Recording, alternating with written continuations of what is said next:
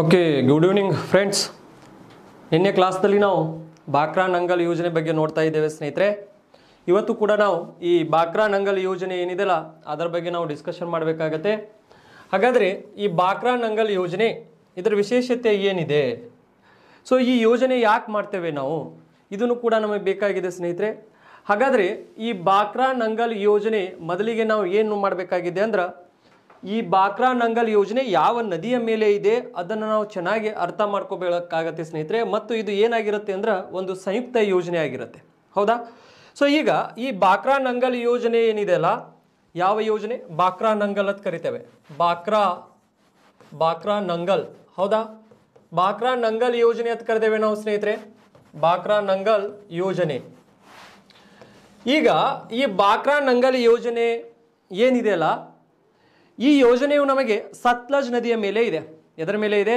ಸತ್ಲಜ್ ನದಿಯ ಮೇಲೆ ಇದೆ ಅಂತ ಹೇಳ್ತೇವೆ ಸ್ನೇಹಿತರೆ. ಯಾವ ನದಿಯ ಮೇಲೆ ಇದೆ ಇದು? ಸತ್ಲಜ್ ನದಿ ಅಂತ ಕರಿತೇವೆ. ಸತ್ಲಜ್ ನದಿ.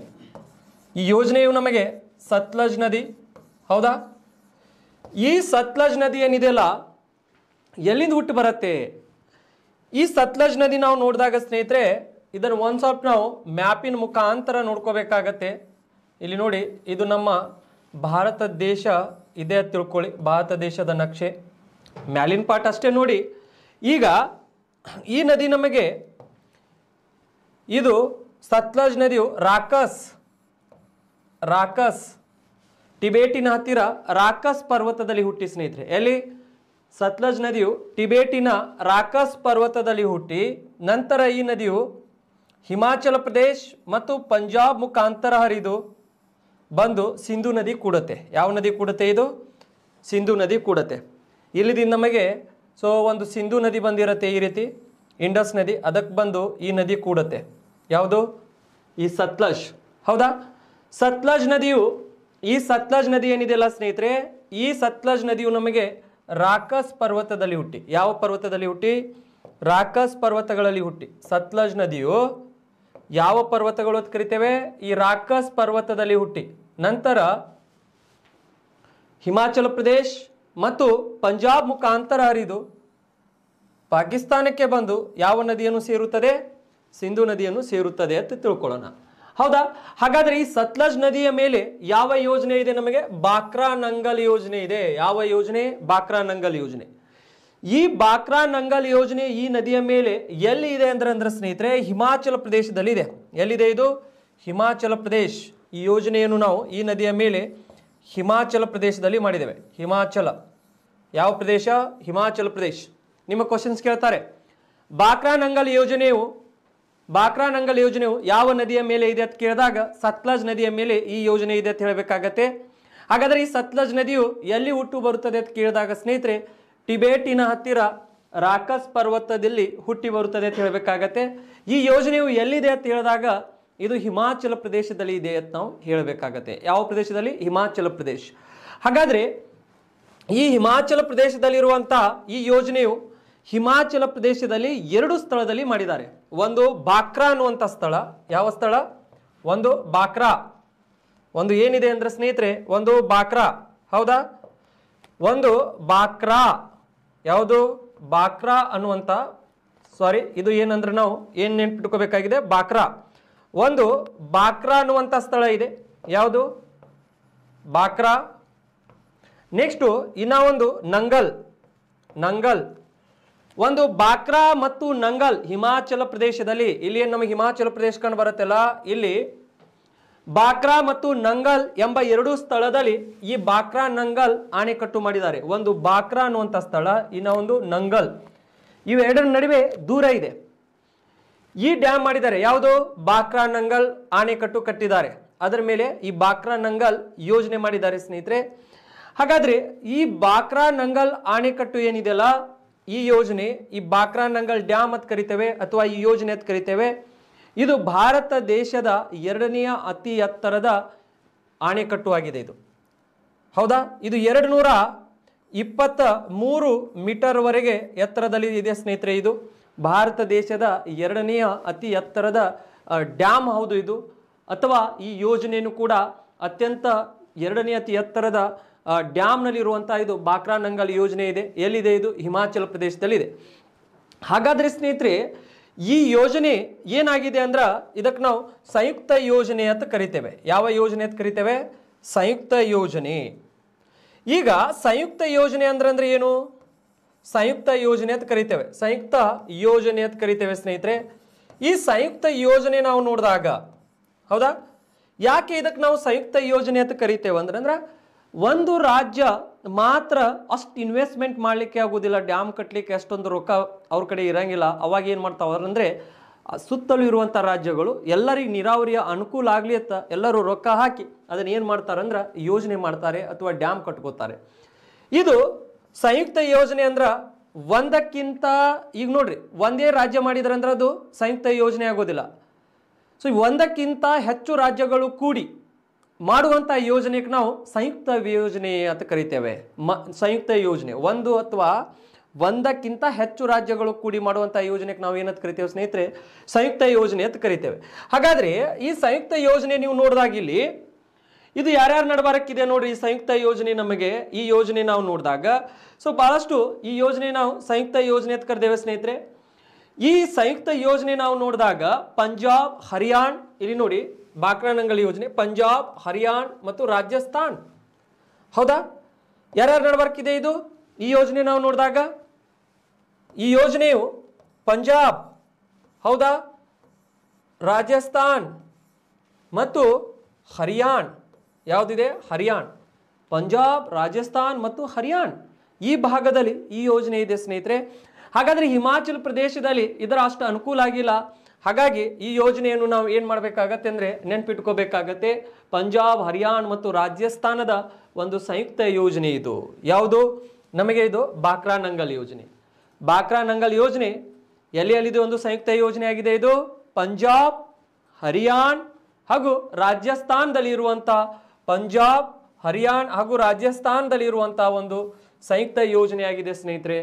ಈ ಯೋಜನೆ ನಿಮಗೆ ಕೇಳಿಬಿಡ್ತಾರೆ ಕ್ವಶನ್ ಬಾಕ್ರಾ ನಂಗಲ್ ಯೋಜನೆಯು ಎಷ್ಟು ರಾಜ್ಯಗಳ ನಡುವೆ ಇರುವಂತಹ ಯೋಜನೆಯಾಗಿದೆ ಅಂತ ಕೇಳಿದಾಗ ಪಂಜಾಬ್, ಹರಿಯಾಣ, ರಾಜಸ್ಥಾನ್ ಮತ್ತು ಈ ಯೋಜನೆ ಏನಂದ್ರೆ ಹಿಮಾಚಲ ಪ್ರದೇಶದಲ್ಲಿ ಇರೋದರಿಂದ ಹಿಮಾಚಲ ಪ್ರದೇಶಕ್ಕೂ ಅನುಕೂಲ ಆಗಿದೆ ಸ್ನೇಹಿತರೆ ಇದು. ಈ ನಾಲ್ಕು ರಾಜ್ಯಗಳ ನಡುವೆ ಈ ಯೋಜನೆ ಇದೆ ಅಂತ ನಾವು ಹೇಳಬೇಕಾಗತ್ತೆ. ನೆಕ್ಸ್ಟು ಈ ಯೋಜನೆ ಏನಿದೆಯಲ್ಲ ಈ ಯೋಜನೆ ನಾವು ನೋಡಿದಾಗ ಈ ಯೋಜನೆ ಹತ್ತೊಂಬತ್ತು ನೂರ ನಲವತ್ತೆಂಟರಲ್ಲಿ ಏನು ಮಾಡ್ತಾರೆ ಅಂದ್ರೆ ಅಂದ್ರೆ ಪ್ರಾರಂಭ ಮಾಡ್ತಾರೆ ಸ್ನೇಹಿತರೆ ಹತ್ತೊಂಬತ್ತು ನೂರ ನಲವತ್ತೆಂಟರಲ್ಲಿ. ನೆಕ್ಸ್ಟ್ ಇದು ಹತ್ತೊಂಬತ್ತು ನೂರ ಅರವತ್ತೆಂಟರಲ್ಲಿ ಏನಾಗತ್ತೆ ಅಂದ್ರೆ ಈ ಯೋಜನೆ ಕಂಪ್ಲೀಟ್ ಆಗತ್ತೆ. ಹೌದಾ? ಏನಾಗತ್ತೆ ಇದು? ಕಂಪ್ಲೀಟ್ ಆಗತ್ತೆ. ನೆಕ್ಸ್ಟು ಈ ಯೋಜನೆ ಏನಿದೆಯಲ್ಲ ಈ ಯೋಜನೆ ಮಾಡಿದ ನಂತರ ಇದರ ಈ ಯೋಜನೆ ಮಾಡಿದಾಗ ಅದರ ಹಿನ್ನೀರು ಏನಿರುತ್ತಲ್ಲ, ಅದರ ಹಿನ್ನೀರು ಈ ಯೋಜನೆ ಮಾಡಿದಾಗ ಮುಂದ್ಗಡೆಗೆ ನಾವು ಡ್ಯಾಮ್ ಕಟ್ತೇವೆ, ಹಿಂದ್ಗಡೆ ಎಲ್ಲ ನೀರು ನಿಂತಿರುತ್ತೆ ನೋಡಿ ಸ್ನೇಹಿತರೆ. ನೀವು ಯಾವುದಾದ್ರೂ ಡ್ಯಾಮ್ ನೋಡಿದ್ರೆ ಗೊತ್ತಾಗತ್ತೆ. ಅಲ್ಲೆಲ್ಲ ಹೋಗಿ ಸೆಲ್ಫಿ ಹೊಡ್ಕೊಂಡಿರ್ಬೇಕಲ್ಲ ಹಿಂಗೆ ಫೋಟೋ ಎಲ್ಲ, ಡ್ಯಾಮ್ ಹತ್ರ ಹೋಗಿ. ಹಿಂದೆ ನೀರು ನಿಂತಿರ್ತೈತಲ್ಲ ಭಾಳಷ್ಟು ಪ್ರಮಾಣದಲ್ಲಿ. ಆ ನೀರಿಗೆ ನಾವು ಅಂಥ ನೀರಿಗೆ ಏನಂತ ಕರಿತೇವೆ ಅಂದ್ರೆ ಅಂದ್ರೆ, ಈ ಡ್ಯಾಮಿನ ಹಿಂದೂ ಅಂಥದೇ ನೀರಿದೆ ಭಾಳಷ್ಟು ಪ್ರಮಾಣದಲ್ಲಿ ನೀರಿದೆ. ಆ ನೀರಿಗೆ ನಾವು ಗೋವಿಂದ ಸಾಗರ ಅಂತ ಕರಿತೇವೆ ಸ್ನೇಹಿತರೆ. ಯಾವ ಸಾಗರ ಅಂತ ಕರಿತೇವೆ? ಇಲ್ಲಿ ನಾವು ಸೊ ಗೋವಿಂದ ಸಾಗರ. ಯಾವ ಸಾಗರ ಕರೆದೇವೆ? ಗೋವಿಂದ ಸಾಗರ. ನೀವು ನೆನ್ಪಿಟ್ಕೋಬೇಕಾಗತ್ತೆ ಇಲ್ಲಿ, ಈ ಬಾಕ್ರಾ ನಂಗಲ್ ಯೋಜನೆಯ ಹಿನ್ನೀರಿಗೆ ಅಥವಾ ಬಾಕ್ರಾ ನಂಗಲ್ ಡ್ಯಾಮಿನ ಹಿನ್ನೀರಿಗೆ ಗೋವಿಂದ ಸಾಗರ ಎಂದು ಕರೆಯೋರು. ಯಾವ ಸಾಗರ? ಗೋವಿಂದ ಗೋವಿಂದ ಸಾಗರ ಅಂತ ಕರಿತೇವೆ ಸ್ನೇಹಿತರೆ. ಯಾವ ಸಾಗರ? ಗೋವಿಂದ ಸಾಗರ. ನಿಮ್ಮ ಕ್ವಶನ್ಸ್ ಕೇಳ್ತಾರೆ. ಬಾಕ್ರಾ ನಂಗಲದ ಡ್ಯಾಮಿನ ಹಿನ್ನೀರಿಗೆ ಅಥವಾ ಬಾಕ್ರಾ ನಂಗಲದ ಯೋಜನೆಯ ಹಿನ್ನೀರಿಗೆ ಏನೆಂದು ಕರೆಯುತ್ತಾರೆ ಅಂದಾಗ ನಾವು ಗೋವಿಂದ ಸಾಗರ ಅಂತ ಕರಿಬೇಕಾಗತ್ತೆ ಸ್ನೇಹಿತರೆ. ಯಾವ ಸಾಗರ? ಗೋವಿಂದ ಸಾಗರ ಅಂತ ಹೇಳಬೇಕಾಗತ್ತೆ. ಹಾಗಾಗಿ ಇದನ್ನು ಕೂಡ ನೀವು ಏನು ಮಾಡಬೇಕಾಗಿದೆ ಅಂದರೆ ನೆನಪಿಟ್ಕೋಬೇಕಾಗಿದೆ. ಈ ಯೋಜನೆಯ ಉದ್ದೇಶ ಏನಾಗಿದೆ? ಈ ಯೋಜನೆಯ ಬಾಕ್ರಾನಂಗಲ್ ಯೋಜನೆಯ ಉದ್ದೇಶ ನಾವು ನೋಡಿದಾಗ ಸ್ನೇಹಿತರೆ, ಇದರ ಉದ್ದೇಶವು ನೀರಾವರಿಯ ಉದ್ದೇಶವಾಗಿದೆ. ಏನಾಗಿದೆ ಇದರ ಉದ್ದೇಶ? ನೀರಾವರಿಯ ಉದ್ದೇಶ. ಹೌದಾ? ಇದರ ಉದ್ದೇಶವು ನೀರಾವರಿ. ಹೌದಾ? ಎಲ್ಲಿ ನೀರು? ಪಂಜಾಬ್, ಹರಿಯಾಣ ಮತ್ತು ರಾಜಸ್ಥಾನಕ್ಕೆ. ಇದರ ಉದ್ದೇಶ ನೀರಾವರಿಯ ಒಂದು ಉದ್ದೇಶವಾಗಿದೆ. ಹಾಗಾದರೆ ಎಲ್ಲಿ ನೀರು ಬೇಕಾಗಿದೆ? ಪಂಜಾಬ್, ಹರಿಯಾಣ ಮತ್ತು ರಾಜಸ್ಥಾನ್. ಇಲ್ಲಿ ಈ ಪಂಜಾಬ್, ಹರಿಯಾಣ, ರಾಜಸ್ಥಾನಕ್ಕೆ ಏನಾಗತ್ತೆ ಅಂದ್ರೆ ಅಂದ್ರೆ ಸ್ನೇಹಿತರೆ, ಇಲ್ಲಿ ನಮ್ಮ ಭಾರತ ದೇಶದ ಕಡೆಗೆ ಬರುವಂತ ಈ ಪಂಜಾಬ್ ಈ ಭಾಗದಲ್ಲಿ ನೀವು ನೋಡ್ಬೋದು. ಇಲ್ಲಿ ನಮಗೆ ಪಂಜಾಬ್ ಇದೆ. ಹೌದಾ? ಪಂಜಾಬ್, ಈ ಭಾಗದಲ್ಲಿ ನಮಗೆ ಹರಿಯಾಣ ಇದೆ ಸ್ನೇಹಿತರೆ. ಹರಿಯಾಣ, ಈ ಭಾಗದಲ್ಲಿ ರಾಜಸ್ಥಾನ್ ಇದೆ. ಈ ಭಾಗದಲ್ಲಿ ನಮಗೇನಿದೆ ಹಿಮಾಚಲ ಪ್ರದೇಶ ಇದೆ. ಹಿಮಾಚಲ ಪ್ರದೇಶ. ಹಾಗಾದರೆ ಈ ಯೋಜನೆಯಿಂದ ಜಾಸ್ತಿ ಯಾರಿಗೆ ಅನುಕೂಲ ಆಗ್ತಾ ಇದೆ ನೋಡಿ, ಈ ಭಾಗದಲ್ಲಿ ಅನುಕೂಲ ಆಗ್ತಾ ಇದೆ. ಹೆಚ್ಚು ಈ ಯೋಜನೆಯಿಂದ ಪಂಜಾಬಕ್ಕೆ ಅನುಕೂ, ಅನುಕೂಲ ಆಗತ್ತೆ ಸ್ನೇಹಿತರೆ. ಯಾರಿಗೆ? ಪಂಜಾಬಕ್ಕೆ ಹಾಗಾಗಿ ಪಂಜಾಬ್ ಏನಂದ್ರೆ ಅಂದ್ರೆ ಈ ಯೋಜನೆಯಿಂದ ಗೋಧಿ ಬೆಳೆಯುತ್ತೆ. ಏನು ಬೆಳೆಯುತ್ತೆ? ಗೋಧಿ. ಹೌದಾ? ಈ ಗೋಧಿ ಪಂಜಾಬ್ ಬೆಳೆಯುತ್ತೆ. ಹಾಗಾಗಿ ಪಂಜಾಬ್ ಗೋಧಿ ಬೆಳೆಯೋದ್ರಿಂದ ಪಂಜಾಬಕ್ಕೆ ನಾವು ಏನಂತ ಕರಿತೇವೆ ಅಂದ್ರೆ, ಸೊ ಒಂದು ಭತ್ತದ ಭತ್ತದ ಕಣಜ ಅಂತ ಕರೆಯಂಗಿಲ್ಲ. ಏನಂತ ಕರಿತೇವೆ ಅಂದ್ರೆ ಗೋಧಿಯ ಕಣಜ ಅಂತ ಕರಿತೇವೆ. ಯಾವುದು? ಗೋಧಿಯ ಕಣಜ. ಯಾವುದಕ್ಕ? ಪಂಜಾಬಕ್ಕೆ ಹಾಗಾಗಿ ನಿಮ್ಮ ಕ್ವಶನ್ಸ್ ಕೇಳ್ತಾರೆ, ಗೋಧಿಯ, ಕಣಜ ಯಾವ್ದತ್ ಕೇಳಿದಾಗ ನೀವು ಏನಂತ ಹೇಳಬೇಕಾಗತ್ತೆ ಅಂದರೆ, ಪಂಜಾಬ್ ಅಂತ ಹೇಳಬೇಕಾಗತ್ತೆ ಸ್ನೇಹಿತರೆ. ಪಂಜಾಬಕ್ಕೆ ಇದು ಬಹಳಷ್ಟು ಅನುಕೂಲ ಆಗಿದೆ ಈ ಯೋಜನೆಯಿಂದ.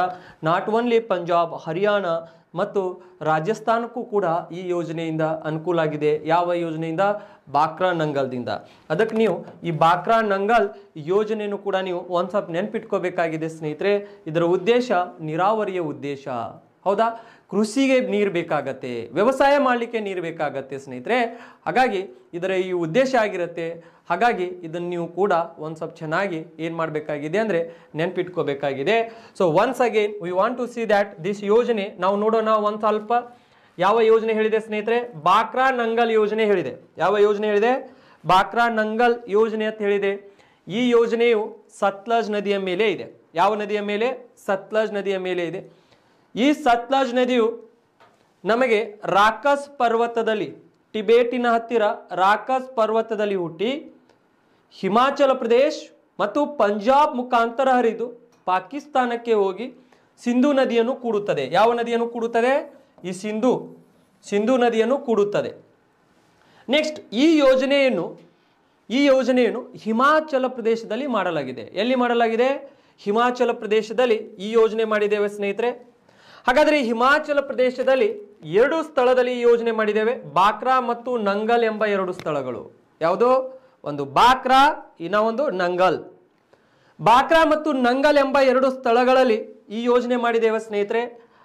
ಈ ಯೋಜನೆ ಇಲ್ಲಿ ಮಾಡಿರೋದರಿಂದ ಎರಡು ಡ್ಯಾಮ್ಗಳು ಇದಾವೆ. ಒಂದು ಬಾಕ್ರಾದ ಹತ್ತಿ, ಒಂದು ಬಾಕ್ರಾ ಅನ್ನುವಂಥದ್ದು ಇನ್ನೊಂದು ನಂಗಲ್. ಹಾಗಾಗಿ ನಾವು ಬಾಕ್ರಾ, ನಂಗಲ್, ಆ ಡ್ಯಾಮ್ ಅಂತ ಕರಿತೇವೆ ಅಥವಾ ಬಾಕ್ರಾ, ನಂಗಲ್ ಯೋಜನೆ ಅಂತ ಕರಿತೇವೆ. ಸೊ ಈ ಬಾಕ್ರಾ, ನಂಗಲ್ ಡ್ಯಾಮ್ ಏನಿದೆ ಅಲ್ಲ ಸ್ನೇಹಿತರೆ, ಇದು ಎರಡು ನೂರ ಇಪ್ಪತ್ತು ಮೂರು ಮೀಟರ್ ಎತ್ತರ ಇದೆ. ಅಂದರೆ ಭಾರತ ದೇಶದ ಎರಡನೆಯ ಅತಿ ಎತ್ತರದ ಆಣೆಕಟ್ಟು ಇದು. ಹೌದಾ? ಸೊ ಒಂದನೇದು ಯಾವ್ದತ್ ಕೇಳಿದ್ರೆ ನಾನು ಹೇಳ್ತೀನಿ ನಿಮಗೆ ತೆಹರಿ ತೆಹರಿ ತೆಹರಿ ಆಣೆಕಟ್ಟು ಅಂತ ಬರುತ್ತೆ. ಯಾವ ನದಿಯ ಮೇಲೆ ಬರುತ್ತೆ ಅಂದ್ರೆ ಇದು ತೇರಿ, ಇದು ನಮಗೆ ಭಾಗೀರಥಿ. ಯಾವುದು? ಭಾಗೀರಥಿ. ಗಂಗಾ ನದಿಯ ಕವಲು ಇದೆಯಲ್ಲ, ಭಾಗೀರಥಿ? ಅದರ ಮೇಲೆ ಕಂಡು ಬರುತ್ತೆ. ಆ ಯೋಜನೆ ಬಂದಾಗ ನಾವು ಡಿಸ್ಕಷನ್ ಮಾಡೋಣ. ಈ ತೇರಿ ಅಣೆಕಟ್ಟು ಒಂದನೆಯ ಅತಿ ಎತ್ತರದ ಅಣೆಕಟ್ಟು ಇದೆ. ಸೆಕೆಂಡ್ ಯಾವುದಿದೆ ನಮಗೆ ಇದು? ಬಾಕ್ರಾ ನಂಗಲ್ ಇದೆ ಸ್ನೇಹಿತರೆ. ಹಾಗಾದರೆ ಈ ಯೋಜನೆಯು ಏನಾಗಿದೆ ಅಂದರೆ ನಮಗೆ ಸಂಯುಕ್ತ ಯೋಜನೆ. ಎಂಥ ಯೋಜನೆ ಇದು? ಸಂಯುಕ್ತ ಯೋಜನೆ. ಈ ಯೋಜನೆಯು ಪಂಜಾಬ್, ರಾಜಸ್ಥಾನ್ ಮತ್ತು ಹರಿಯಾಣದಲ್ಲಿ ಬಹಳಷ್ಟು ಪ್ರಾಮುಖ್ಯತೆಯನ್ನು ಪಡೆದುಕೊಂಡಿದೆ. ನೆಕ್ಸ್ಟ್ ಇದು ಹಿಮಾಚಲ ಪ್ರದೇಶದಲ್ಲಿ ಅಲ್ಲೇ ಈ ಯೋಜ್ ಡ್ಯಾಮ್ ಆದ್ರೆ ಅವರಿಗಷ್ಟು ಅನುಕೂಲ ಇಲ್ಲ. ಆದ್ರೂ ಅವ್ರಿಗೂ ಸ್ವಲ್ಪ ಪ್ರಮಾಣದಲ್ಲಿ ಅನುಕೂಲ ಆಗಿದೆ. ಇದಕ್ಕೆ ನಾವು ಸಂಯುಕ್ತ ಯೋಜನೆ ಅಂತ ಕರೆದೇವೆ ಸ್ನೇಹಿತರೆ. ಸಂಯುಕ್ತ ಯೋಜನೆ ಅಂತ ಯಾಕೆ ಕರೆದೇವು ಅಂದ್ರೆ ಒಂದಕ್ಕಿಂತ ಹೆಚ್ಚು ರಾಜ್ಯಗಳು ಕೂಡಿ ಮಾಡುವಂಥ ಯೋಜನೆಗಳಿಗೆ ನಾವು ಸಂಯುಕ್ತ ಯೋಜನೆ ಅಂತ ಕರಿತೇವೆ. ಹೌದಾ? ಅದು ಆದಮೇಲೆ ನೆಕ್ಸ್ಟ್ ನಾವು ಈ ಯೋಜನೆ ನೋಡಿದಾಗ ಈ ಯೋಜನೆಯ ಹಿನ್ನೀರಿಗೆ, ಹೌದಾ? ಈ ಯೋಜನೆಯ ಹಿನ್ನೀರಿಗೆ ನಾವು ಏನಂತ ಕರೆದೇವೆ? ಗೋವಿಂದ ಸಾಗರ ಅಂತ ಕರೆದೇವೆ ಸ್ನೇಹಿತರೆ. ಯಾವ ಸಾಗರ ಅಂತ ಕರೆದೇವೆ? ಗೋವಿಂದ ಸಾಗರ. ಇದರ ಹಿನ್ನೀರಿಗೆ ನಾವು ಏನಂತ ಕರಿತೇವೆ ಅಂದ್ರೆ, ಆ ಡ್ಯಾಮ್ ಹಿಂದ್ಗಡೆಗೆ ನಿಂತಿರುವಂಥ ನೀರಿಗೆ ನಾವು ಗೋವಿಂದ ಸಾಗರ ಅಂತ ಕರೆದೇವೆ. ಇದನ್ನು ನೀವು ನೆನ್ಪಿಟ್ಕೊಳ್ಳಿ. ನೆಕ್ಸ್ಟ್ ಈ ಯೋಜನೆಯ ಉದ್ದೇಶ ಏನಾಗಿದೆ ಅಂದ್ರೆ, ನೀರಾವರಿಯ ಉದ್ದೇಶ ಆಗಿದೆ ಸ್ನೇಹಿತರೆ. ಈ ನೀರಾವರಿಯ ಉದ್ದೇಶ ಯಾರಿಗೆ ಅನುಕೂಲ ಆಗಿದೆ ಅಂದ್ರೆ ನಾನು ಇಲ್ಲಿ ಹೇಳಿದೆ ನಿಮಗೆ ಯಾರ್ಯಾರಿಗೆ ಅನುಕೂಲ ಆಗಿದೆ ಅಂದ್ರ ಸೊ ನಾವು ನೋಡಿದಾಗ ಈ ಭಾಗದಲ್ಲಿ ನಮಗೆ ಪಂಜಾಬ್, ರಾಜಸ್ಥಾನ್ ಹಾಗೂ ಹರಿಯಾಣ. ಪಂಜಾಬ್ದವ್ರಿಗೆ ಅನುಕೂಲ ಆಗಿದೆ, ರಾಜಸ್ಥಾನದವ್ರಿಗೆ ಅನುಕೂಲ ಆಗಿದೆ ಸ್ನೇಹಿತರೆ, ಮತ್ತು ಹರಿಯಾಣಕ್ಕೆ ಅನುಕೂಲ ಆಗಿದೆ ಈ ಭಾಗದಲ್ಲಿ ಈ ಯೋಜನೆದಿಂದ ಅದಕ್ಕೆ ಈ ಯೋಜನೆಯಿಂದ ಇದು ಏನಿದೆಯಲ್ಲ ಈ ಪಂಜಾಬ್ ಗೋಧಿ ಬೆಳೆಯತ್ತೆ, ಈ ಯೋಜನೆಯಿಂದ ಗೋಧಿ. ಹಾಗಾಗಿ ಪಂಜಾಬಕ್ಕೆ ನಾವು ಏನಂತ ಕರಿತೇವೆ ಅಂದ್ರಂದ್ರ ಗೋಧಿಯ ಕಣಜ ಅಂತ ಕರೆದೇವೆ. ಯಾಕಂದ್ರೆ ಇಳುವರಿಯಲ್ಲಿ ಕಡಿಮೆ ಹೊಲದಲ್ಲಿ ಜಾಸ್ತಿ ಪ್ರಮಾಣದಲ್ಲಿ ಗೋಧಿ ಬೆಳೆದ್ಬಿಡ್ತಾರೆ ಸ್ನೇಹಿತರೆ ಅವರು. ಯಾರಂದ್ರಂದ್ರೆ ಈ ಪಂಜಾಬ್ದವರು. ಅವ್ರು ಗೊಬ್ಬರ ಹೆಂಗೆ ಚೆಲ್ತಾರೆ ಗೊತ್ತಾ? ಬುಟ್ಟಿಗಟ್ಲೆ ಗೊಬ್ಬರ ಚೆಲ್ತಾರೆ. ನಮ್ಮ ಕಡೆಗೆ ನಾವು ಹೆಂಗೆ ಚೆಲ್ತೇವೆ ಹೇಳ್ರಿ ಗೊಬ್ಬರ ಒಂದು ಸ್ವಲ್ಪ ಸ್ವಲ್ಪ ತಗೊಂಡು ಹಾಕ್ತೇವೆ ನಾವು. ಎದಕ್ಕೆ ಹಾಕ್ತೇವೆ? ಸೊ, ಆ ಸಸಿಗಳಿಗೆ ಅದರ ಭಾಗದಲ್ಲಿ ಹೋಗಿ ಸ್ವಲ್ಪ ಸ್ವಲ್ಪ ಪ್ರಮಾಣದಲ್ಲಿ ಹಾಕ್ತೇವೆ ನಾವು. ಇವರಿಲ್ಲ, ಬುಟ್ಟಿಗಟ್ಲೆ ಗೊಬ್ಬರ ತಗೊಂಡು ಹಿಂಗೆ ಚೆಲ್ತಾರೆ. ಆದರೆ ಒಂದು ದಿನ ಏನಾಗತ್ತೆ? ಮಣ್ಣಿನ ಫಲವತ್ತತೆ ಸಾಯಿಲ್ ಸಾಯಿಲ್ ಈ ಮಣ್ಣು ಏನಿದೆಯಲ್ಲ, ಇದು ಬಹಳಷ್ಟು ಇಂಪಾರ್ಟೆಂಟ್ ನಮಗೆ ಸಾಯಿಲ್ ಈ ಸಾಯಿಲ ಎಷ್ಟು ಇನ್ಪ ಅದರ ಫಲವತ್ತತೆ ಕಡಿಮೆ ಆಯ್ತಂದ್ರೆ ಸ್ನೇಹಿತರೆ, ಆಮೇಲೆ ಅದರ ಫಲವತ್ತತೆ ಹೆಂಗೆ ಹೆಚ್ಚು ಮಾಡೋದು ನಾವು? ಇದರ ಪಿ ಎಚ್ ವ್ಯಾಲ್ಯೂ ಮಣ್ಣಿಂದ P H value the presence of hydrogen ಇದು ಚೆನ್ನಾಗಿರ್ಬೇಕು ಮಣ್ಣು, ಇದರ ಪಿ ಎಚ್ ವ್ಯಾಲ್ಯೂ ನಮಗೆ, ಈ ಮಣ್ಣಿನ ಪಿ ಎಚ್ ವ್ಯಾಲ್ಯೂ ನಮಗೆ seven point five to eight point ಫೈವ್ವರೆಗೆ ಇರಬೇಕು. ಅಥವಾ ಸಿಕ್ಸ್ ಪಾಯಿಂಟ್ ಫೈವ್ದಿಂದ ಸಿಕ್ಸ್ ಪಾಯಿಂಟ್ ಫೈವ್ದಿಂದ ಸೆವೆನ್ ಪಾಯಿಂಟ್ ಫೈವ್ವರೆಗೆ ಇದರ ಪಿ ಎಚ್ ವ್ಯಾಲ್ಯೂ ಇರಬೇಕು ನಮಗೆ ಪ್ರೆಸೆನ್ಸ್ ಆಫ್ ಹೈಡ್ರೋಜನ್ ಅವಾಗ ಮಾತ್ರ ಈ ಮಣ್ಣು ನಮಗೆ ಅಂದ್ರಂದ್ರೆ ಸೊ ಕೃಷಿ ಮಾಡಲಿಕ್ಕೆ ಯೋಗ್ಯವಾಗತ್ತೆ. ಎಲ್ಲಿಕಂದ್ರಂದ್ರೆ, ಕೃಷಿ ಮಾಡಲಿಕ್ಕೆ ಯೋಗ್ಯವಾಗುವುದಿಲ್ಲ ಸ್ನೇಹಿತರೆ. ಸೊ ಹಾಗಾಗಿನೇ ಪ್ರತಿ ವರ್ಷ ನಾವು ಏನು ಮಾಡ್ತೇವೆ ಅಂದ್ರೆ ಅಂದ್ರೆ ಡಿಸೆಂಬರ್ ಐದರಂದು ಡಿಸೆಂಬರ್ ಐದರಂದು, ಪ್ರತಿ ವರ್ಷ ನಾವು ಡಿಸೆಂಬರ್ ಐದರಂದು ವರ್ಲ್ಡ್ ಸಾಯಿಲ್ ಕನ್ಸರ್ವೇಷನ್ ಡೇ ಅಂತ ಮಾಡ್ತೇವೆ. ವಿಶ್ವ ಮಣ್ಣಿನ ಸಂರಕ್ಷಣಾ ದಿನ ಅಂತ ಮಾಡ್ತೇವೆ. ಡಿಸೆಂಬರ್ ಐದರಂದು every year we are observing December five as a world soil day ಯಾಕೆ? ಮಣ್ಣಿನ ಫಲವತ್ತತೆ ಕಡಿಮೆ ಆಗ್ತಾ ಇದೆ. ಗೊಬ್ಬರ ಹಾಕಿ ಹಾಕಿ ಹಾಕಿ. ಹಾಗಾಗಿ ಇದು ಏನಾಗತ್ತೆ ಅಂದ್ರೆ ಪಂಜಾಬ್ದನು ಒಂದು ದಿನ ಅದೇ ರೀತಿ ಇದೇ ಗತಿ ಬರುತ್ತೆ. ಮಣ್ಣಿನ ಫಲವತ್ತತೆ ಎಲ್ಲ ಕಳ್ಕೊಂಡು ಹೋಗ್ಬಿಡುತ್ತೆ. ಆವಾಗ ಏನೂ ಬೆಳಿಲಿಕ್ಕಾಗುವುದಿಲ್ಲ. ಸೊ ಹಾಗಾಗಿ ಗೊಬ್ಬರ ಹಾಕುವಂಥ ಪ್ರಮಾಣ ಕಡಿಮೆ ಮಾಡಬೇಕು. ಸೊ ಆರ್ಗ್ಯಾನಿಕ್ ಫಾರ್ಮಿಂಗ್ ಮಾಡಬೇಕು. ಯಾವ ಫಾರ್ಮಿಂಗ ಆರ್ಗ್ಯಾನಿಕ್ ಈಗ ಮಾಡ್ತಾ ಇದೆ ನೋಡಿರಿ ಸಿಕ್ಕಿಂ ನಿಮ್ಮ ಕ್ವಶನ್ಸ್ ಕೇಳ್ತಾರೆ. ಭಾರತ ದೇಶದಲ್ಲಿ ಯಾವ ರಾಜ್ಯವು ಆರ್ಗ್ಯಾನಿಕ್ ಫಾರ್ಮಿಂಗನ್ನು ಮಾಡ್ತಾ ಇದೆ? ಸಾವಯವ ಕೃಷಿ. ಸಾವಯವ ಕೃಷಿ ಸಿಕ್ಕಿಂ ಮಾಡ್ತಾ ಇದೆ. ಯಾವುದು? ಸಿಕ್ಕಿಂ ಯಾವ ದ್ವೀಪ ಮಾಡ್ತಾ ಇದೆ ಅಂದ್ರೆ ಅಂದ್ರೆ ಲಕ್ಷ ದ್ವೀಪ ಮಾಡ್ತಾ ಇದೆ. ರಾಜ್ಯ ಯಾವುದಿದೆ? ಸಿಕ್ಕಿಂ ದ್ವೀಪ ಯಾವುದಿದೆ? ಕೇಂದ್ರಾಡಳಿತ ಪ್ರದೇಶದಲ್ಲಿ ಲಕ್ಷದ್ವೀಪ. ಅವು ಮಾಡ್ತಾ ಇದ್ದಾವೆ. ಬಟ್ ಭಾರತ ದೇಶದಲ್ಲಿ ಇದು ಪಂಜಾಬ್, ಗೋಧಿಯ ಇಳುವರಿಯಲ್ಲಿ ಜಾಸ್ತಿ ಇದೆ ಸ್ನೇಹಿತರೆ. ಈ ಸತ್ಲಜ್ ನದಿಯ ನೀರಿನ ಒಂದು ಒಂದು ಭಾಗದಿಂದ ಇದು ಏನಂದ್ರಂದ್ರೆ ಯೋಜನೆ ಅನುಕೂಲ ಆಗಿದೆ ಅವ್ರಿಗೆ ಬಹಳಷ್ಟು ಪ್ರಮಾಣದಲ್ಲಿ. ಇದನ್ನು ನೀವು ನೆನ್ಪಿಟ್ಕೋರಿ. ಸೊ ಇದು ಯೋಜನೆ ನಮಗೆ ಎಲ್ಲಿ ಕಂಡು ಬಂದಿತ್ತಂದರೆ, ಬಾಕ್ರಾ ನಂಗಲ್ ಯೋಜನೆ, ಇದು ಸಂಯುಕ್ತ ಯೋಜನೆ. ಇಷ್ಟೆಲ್ಲ ಅಂಶಗಳನ್ನು ಈ ಯೋಜನೆಯಲ್ಲಿ ನೀವು ನೆನ್ಪಿಟ್ಕೋಬೇಕಾಗತ್ತೆ, ಸ್ನೇಹಿತರೆ. ನೆನ್ಪಿಟ್ಕೊಳ್ಳಿ. ಇದು ಬಹಳಷ್ಟು ಇಂಪಾರ್ಟೆಂಟ್ ಆಗತ್ತೆ. ಗೊತ್ತಾಯ್ತಾ? ನೆಕ್ಸ್ಟ್ ನಾವು ಈ ಯೋಜನೆ ನಾವು ನೋಡಿದಾಗ, ಸ್ನೇಹಿತರೆ, ಈ ಯೋಜನೆ ನೋಡಿದಾಗ ಒಟ್ಟಾರೆ ಬಾಕ್ರಾ ನಂಗಲ್ ಯೋಜನೆ ಬಗ್ಗೆ ಹೇಳಿದೆ ನಾನು. ಬಾಕ್ರಾ ನಂಗಲ್ ಯೋಜನೆ ಎಷ್ಟರಲ್ಲಿ ಸ್ಥಾಪನೆ ಆಯಿತು, ಆಮೇಲೆ ಪೂರ್ಣಗೊಳ್ತು ಎಲ್ಲಿ? ಇದು ನಮಗೆ ಸತ್ಲಜ್ ನದಿಯ ಮೇಲೆ ಇದೆ ಅಂತ ಹೇಳ್ತೇವೆ ನಾವು. ನೆಕ್ಸ್ಟು ಈ ಇದರ ಹಿನ್ನೀರಿಗೆ ಗೋವಿಂದ್ ಸಾಗರ್ ಅಂತ ನಾನು ಎಲ್ಲನೂ ಈ ಯೋಜನೆ ಬಗ್ಗೆ ನಿಮಗೆ ಎಕ್ಸ್ಪ್ಲನೇಷನ್ ಮಾಡಿಕೊಟ್ಟಿದ್ದೀನಿ. ಯಾಕಂದ್ರೆ ಅಂದ್ರೆ ಅಂದರೆ ಹಿಂಗೆ ಬರೆದು ಹಾಕೋದು, ನಿಮಗೆ ಎಕ್ಸ್ಪ್ಲನೇಷನ್ ಮಾಡೋದು. ಆ ರೀತಿ ನಾವು ಏನು ಬೋರ್ಡ್ ಮ್ಯಾಗ ನಾನು ಭಾಳಷ್ಟು ವಿದ್ಯಾರ್ಥಿಗಳು ಕಾಲ್ ಮಾಡಿದರು. ಸರ್, ನೀವು ಬೋರ್ಡ್ ಮ್ಯಾಗನೇ ಬರೋದು ಚೆನ್ನಾಗಿ ಎಕ್ಸ್ಪ್ಲನೇಷನ್ ಮಾಡ್ತೀರಿ. ಹಾಗೆ ಮಾಡಿ ಸರ್ ಅಂತ ಹೇಳ್ತಾರೆ. ಯಾಕಂದ್ರೆ ಅಂದ್ರೆ ಸ್ನೇಹಿತರೆ, ಅವರು ಕೂಡ ಬರ್ಕೋತಿರ್ತಾರೆ. ಈಗ ಎಷ್ಟೋ ಕನ್ ಕಾಲ್ಫಾರ್ಮ್ ಇದೆ ಈಗ. ಈಗ ನೆಕ್ಸ್ಟ್ ಏನಂದ್ರೆ ಅಂದ್ರೆ ಅಂದರೆ ಸೊ ಹದಿನೈದು ನೂರವರೆಗೆ ಹದಿನೈದು ನೂರು post P C police constable P S I ಇದ್ದಾವೆ ಮತ್ತೆ ನೆಕ್ಸ್ಟು ಕೆ ಎಸ್ ಕಾಲ್ಫಾರ್ಮ್ ಆಗತ್ತೆ. ಹಾಗಾಗಿ ಆ ವಿದ್ಯಾರ್ಥಿಗಳು ಏನು ಮಾಡ್ಕೋತಾ ಇದ್ದಾರೆ ಅಂದ್ರೆ ನೋಟ್ಸ್ ಮಾಡ್ಕೋತಾ ಇದ್ದಾರೆ ಸ್ನೇಹಿತರೆ. ಅದಕ್ಕೆ ನೀವು ಕೂಡ ಪ್ರತಿಯೊಬ್ಬರು ನೋಟ್ಸ್ ಮಾಡ್ಕೊಳ್ಳಿ. ಚೆನ್ನಾಗಿ ನೋಟ್ಸ್ ಮಾಡ್ಕೊಳ್ಳಿ. ಚೆನ್ನಾಗಿ ಅರ್ಥ ಮಾಡ್ಕೊಳ್ಳಿ. ನಾವು ಏನು ಹೇಳ್ತೇವಲ್ಲ, ನಿಧಾನವಾಗಿನೇ ನಿಮಗೋಸ್ಕರ ನಾವು ಇಲ್ಲಿದ್ದೇವೆ ಸ್ನೇಹಿತರೆ. ಅದಕ್ಕೆ ಇದನ್ನು ಒಂದು ಸ್ವಲ್ಪ ಯುಟಿಲೈಸ್ ಮಾಡ್ಕೊಳ್ಳಿ. ನೆಕ್ಸ್ಟ್ ನಾವು ಈ ಯೋಜನೆ ಆದ ನಂತರ ಮುಂದೆ ಹೋಗೋಣ. ನೆಕ್ಸ್ಟ್ ನಮಗೆ ನಾಗಾರ್ಜುನ ಯೋಜನೆ ಅಂತ ಬರುತ್ತೆ ಸ್ನೇಹಿತರೆ. ಯಾವ ಯೋಜನೆ? ನಾಗಾ ಅರ್ಜುನ ಯೋಜನೆ. ಈಗ ಈ ನಾಗಾರ್ಜುನ ಯೋಜನೆ ನಾವು ನೋಡಿದಾಗ, ಈ ಯೋಜನೆಯೂ ಕೂಡ ನಮಗೆ ಒಂದು ಸ್ವಲ್ಪ ಇಂಪಾರ್ಟೆಂಟ್ ಆಗುತ್ತೆ ಸ್ನೇಹಿತರೆ, ನಾಗಾರ್ಜುನ ಯೋಜನೆ. ಸೊ ಈ ನಾಗಾರ್ಜುನ ಯೋಜನೆ ನಮಗೆ ಆಂಧ್ರ ಪ್ರದೇಶದಲ್ಲಿ ಕಂಡು ಬರುತ್ತೆ ಸ್ನೇಹಿತರೆ. ಯಾವ ಪ್ರದೇಶದಲ್ಲಿ ಕಂಡು ಬರ್ತಿದ್ದು ಆಂಧ್ರ ಪ್ರದೇಶದಲ್ಲಿ ಕಂಡು ಬರುತ್ತೆ. ಹಾಗಾದ್ರೆ ಈ ನಾಗಾರ್ಜುನ ಯೋಜನೆ ಏನಿದೆಯಲ್ಲ ಈ ಯೋಜನೆ ನಾವು ನೋಡ್ಬೇಕಂದ್ರೆ ಯಾವ ನದಿಯ ಮೇಲೆ ಇದೆ ಅಂತ ನಾವು ಮೊದಲಿಗೆ ಈ ಯೋಜನೆಯನ್ನು ನಾವು ಅಬ್ಸರ್ವೇಷನ್ ಮಾಡಬೇಕಾಗತ್ತೆ ಸ್ನೇಹಿತರೆ. ಈಗ ನೋಡಿ, ಯಾವ ಯೋಜನೆ ಬಗ್ಗೆ ಡಿಸ್ಕಷನ್ ಮಾಡಬೇಕಾಗಿದೆ ಈಗ ನಾವು? ನಾಗಾರ್ಜುನ ಯೋಜನೆ. ಹೌದಾ? ನಾಗಾರ್ಜುನ. ಈಗ ನಾಗಾರ್ಜುನ ನಾಗಾರ್ಜುನ ಯೋಜನೆ. ನಾಗಾರ್ಜುನ ಯೋಜನೆ. ಈ ನಾಗಾರ್ಜುನ ಯೋಜನೆಯು ನಮಗೆ ಯಾವ ನದಿಯ ಮೇಲೆ ಇದೆ ಅಂತ ನಾವು ನೋಡಿದಾಗ, ಸ್ನೇಹಿತರೆ, ಈ ಯೋಜನೆಯು ನಮಗೆ ಕೃಷ್ಣಾ ನದಿಯ ಮೇಲೆ ಕಂಡುಬತ್ತು. ಯಾವ ನದಿಯ ಮೇಲೆ? ಕೃಷ್ಣಾ. ಹೌದಾ? ಕೃಷ್ಣಾ ನದಿ. ಈಗ ಈ ಕೃಷ್ಣಾ ನದಿ ಏನಿದೆಯಲ್ಲ ಇಲ್ಲಿ ನೋಡಿ, ಇದು ಭಾರತ ದೇಶ ಇದೆ ಸ್ನೇಹಿತರೆ ಇದು. ಯಾವ ದೇಶ ಇದೆ ಇದು? ಭಾರತ ದೇಶ. ನಮ್ಮ, ನಿಮ್ಮ ನೆಚ್ಚಿನ ದೇಶ, ಭಾರತ ದೇಶ. ನೋಡ್ಕೊಳ್ಳಿ ಇದು. ನೀವು ಕೂಡ ಡ್ರಾ ಮಾಡಿರಿ. ಸೊ ಎಂಜಾಯ್ ಮಾಡ್ತಾ ಪಾಠ ಕಲೀರಿ.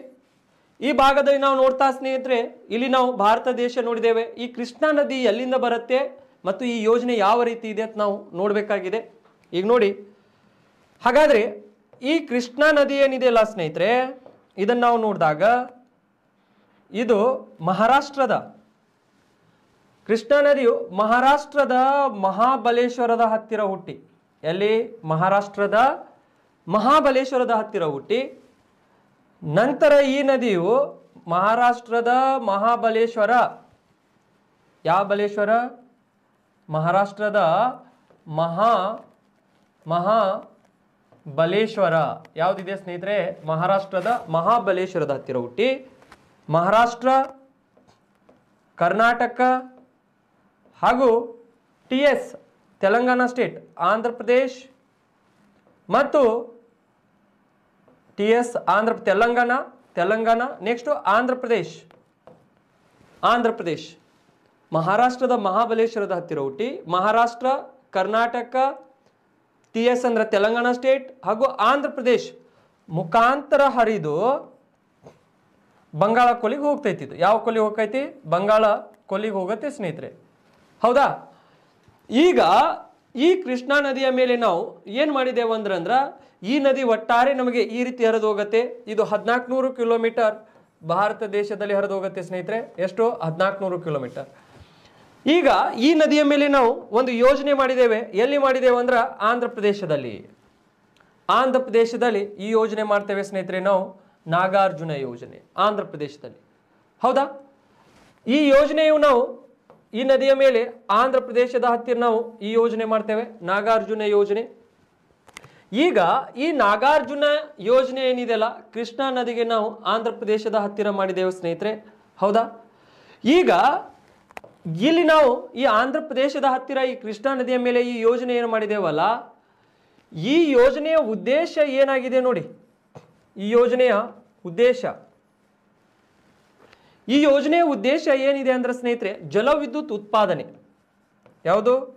ಜಲವಿದ್ಯುತ್. ಜಲವಿದ್ಯುತ್ ಉತ್ಪಾದನೆ ಮಾಡುವುದು.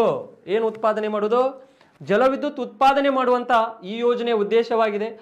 ಈ ನಾಗಾರ್ಜುನ ಯೋಜನೆ, ಇದರ ಉದ್ದೇಶ ಏನಿದೆ ಅಂದ್ರೆ ಜಲವಿದ್ಯುತ್. ಈ ಆಂಧ್ರ ಪ್ರದೇಶದ ಹತ್ತಿರ ಈ ಯೋಜನೆ ಏನಿದೆಯಲ್ಲ ಈ ಆಂಧ್ರ ಪ್ರದೇಶದ ಹತ್ತಿರ ನಮಗಿದೆ, ಆಂಧ್ರ ಪ್ರದೇಶದಲ್ಲಿ.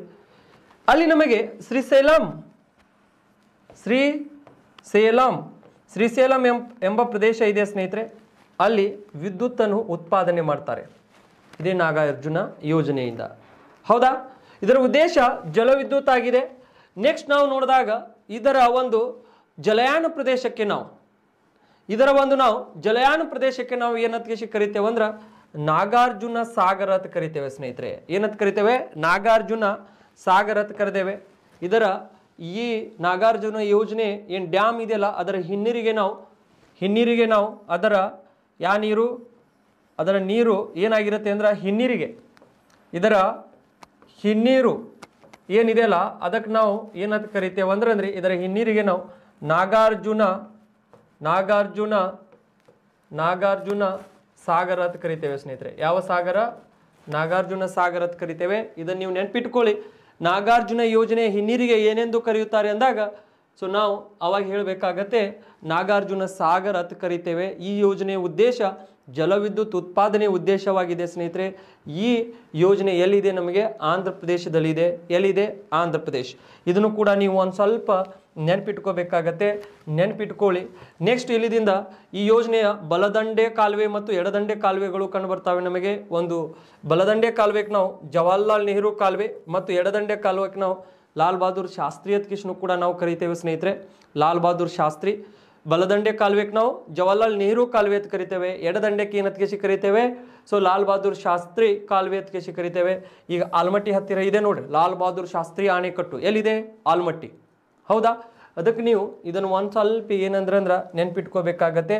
ಈ ಯೋಜನೆಗಳನ್ನು ನಾವು ಮತ್ತೆ ನೋಡೋಣತ್ತ. ಲಾಲ್ ಬಹದ್ದೂರ್ ಶಾಸ್ತ್ರಿ ಆಣೆಕಟ್ಟು ಎಲ್ಲಿದೆ ಅಂತ ನಾವು ನೋಡೋಣ. ಈ ಕೃಷ್ಣಾ ನದಿಯ ಮೇಲೇನೇ ಇದೆ. ಆಲ್ಮಟ್ಟಿ ಹತ್ತಿರ ಆದರೂ ಯೋಜನೆ ಬರುತ್ತೆ ಅವಾಗ ಅದ್ರ ಬಗ್ಗೆ ನಾವು ಡಿಸ್ಕಷನ್ ಮಾಡೋಣ. ಇಲ್ಲಿ ಇಷ್ಟೇ ನೀವು ನೆನ್ಪಿಟ್ಕೊಳ್ಳೋದು, ನಾಗಾರ್ಜುನ ಯೋಜನೆ ಬಗ್ಗೆ. ಇದು ಕೃಷ್ಣಾ ನದಿಯ ಮೇಲೆ ಇದೆ ಈ ಯೋಜನೆ. ಹಾಗಾದರೆ ಕೃಷ್ಣಾ ನದಿಯು ಮಹಾರಾಷ್ಟ್ರದ ಮಹಾಬಲೇಶ್ವರದ ಹತ್ತಿರ ಹುಟ್ಟಿ, ಮಹಾರಾಷ್ಟ್ರ, ಕರ್ನಾಟಕ, ತೆಲಂಗಾಣ, ಆಂಧ್ರ ಪ್ರದೇಶ್ ಮುಖಾಂತರ ಹರಿದು ಬಂಗಾಳ ಕೊಲ್ಲಿ ಸೇರುತ್ತದೆ. ಹದಿನಾಲ್ಕುನೂರು ಕಿಲೋಮೀಟರ್ ಉದ್ದ ಹರಿಯುತ್ತದೆ ಸ್ನೇಹಿತರೆ ಇದು.